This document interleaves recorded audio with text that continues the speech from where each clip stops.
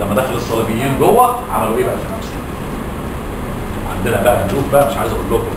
الملك جودفري والملك بولدوين الأول وبولدوين الثاني وبولدوين الثالث وبولدوين الرابع. طبعا يخشوا يقتلوا في المسلمين ويقطعوا فيهم لما يدفع لهم.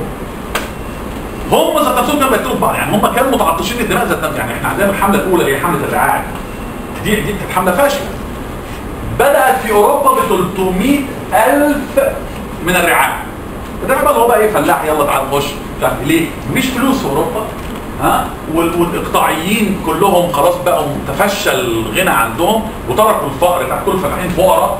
ها؟ تعالى يا عم خش الحرب دي عشان تخلص ال- ال- الصليب في القدس من من إيد المسلمين الوحشين وال- والهمج.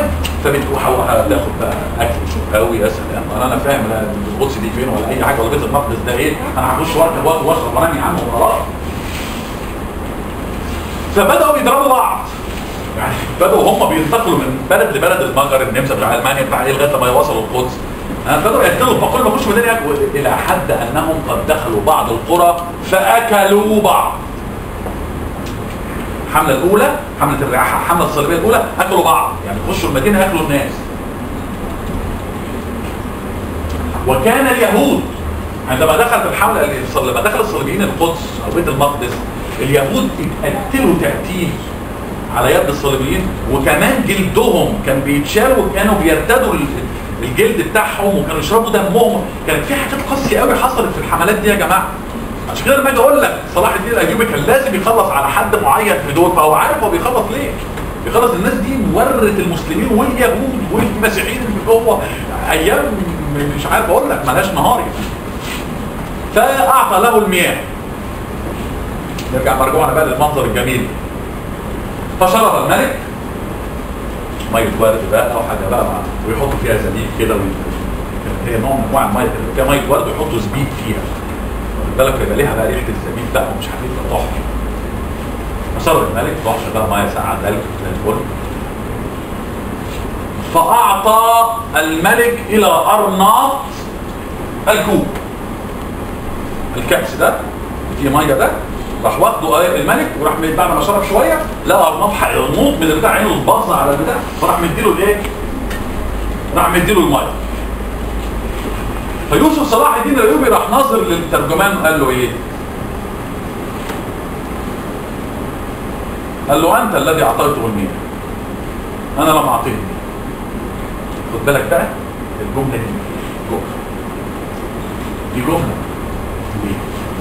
نمرة واحد يجب أن تعلموا يا شباب أن إعطاء العربي لأحد مياه فقد أمانه على حياته. فقد أمان على حياته.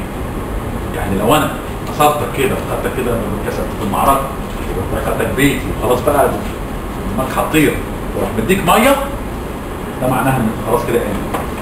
فلا ده كان من كرم العرب.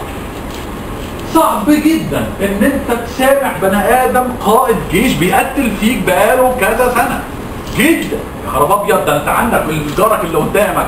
مش عارف بيشغل التكييف بصوت عالي بيبقى فيه قتل وسرج و- و- و- والنار بتتحدف في بعضيها وعيال بتتخطف من بعض على فتخيل بقى ده. عمال يقتل وبيقتل بيك إزاي؟ يقطع إيه ويعمل جلدك إيه ويحرق إيه ويطلع عينك إيه و... ماشي رايح تحج بيخش يقتلوك ويقطعوك بقى. حاجات جامدة.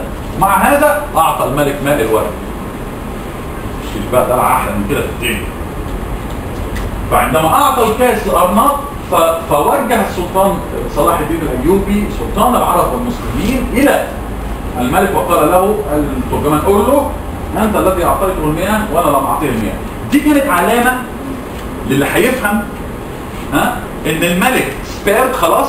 ال life بتاعته شكلها كده مش هيعمل معاها يعني مش هيطير له رقبته. أما ارناط فأنت خلاص دقائقك معدوده في الحياة.